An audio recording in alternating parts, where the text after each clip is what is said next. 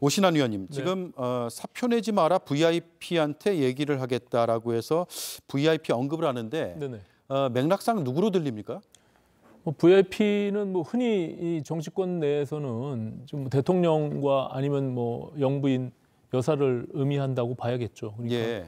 어, 지금 이종호 씨가 그 이후에 이제 취재에는 어, 김계한 해병대 사령부를 지칭한 것이다라고 얘기를 하고 있는데 어, VIP라는 용어 자체가 지금 이종호 씨 혼자만 어, 언급한 것이 아니라 다른 그 상대 비 변호사도 언급한 바가 있거든요. 그렇기 때문에 저는 맥락상 봐서는 또 뭐 사성 장군 배출이나 뭐 이런 것들을 할 수 있는 지위나 위치에 있는 사람은 어, 지금 뭐 별 세 개를 달고 있는 해병대 사령관이 아니니까 제가 봐서는 뭐 문맥상 저것은 뭐 어, 대통령을 언급하고 있는 것이다 이렇게 보여집니다. 네. 다만 이제 그런 것들이 지금 이종호 씨가 다소 뭐 허풍스럽게 본인이 어, 위- 위세를 좀 과장되게 표현하기 위해서 저렇게 실제 구명이 이루어지지도 않은 상황에서 저렇게 언급을 한 것이냐라는 측면에서 좀 바라봐야 될 것이고요. 저게 공수처에서 이미 녹취록을 확보하고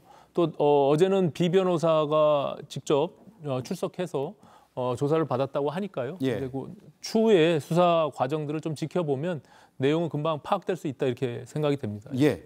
개혁신당에서 이 녹취를 어떻게 봤습니까?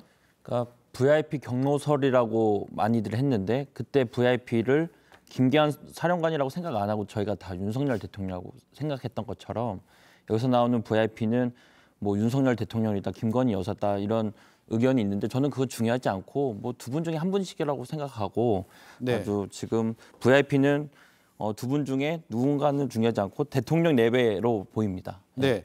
한민수 의원님, 어, 이종호 씨가 앞서 얘기가 좀 나왔지만 어, 오늘 해명을 했습니다. VIP를 어, 대통령으로 지칭한 게 아니라 해병대 사령관인 김계환으로 지칭을 한 거다라고 얘기했는데 군에서 보통 어, 상급자를 VIP로 부르지는 않지 않나요?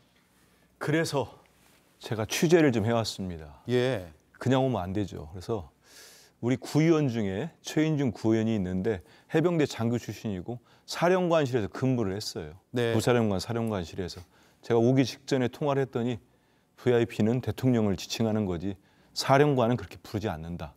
그리고 또 제 방에 제 의원실에 해병대 병사 출신이 세 명 있습니다. 예. 일일이 불러 다 물어봤습니다. 제가 그런 일은 없고 본질은 결국 그런 거 아니겠습니까? VIP 좀 전에 나온 경로설에 시작해서 이번에 VIP에 대한 구명 로비까지 설이 나온 거 아닙니까?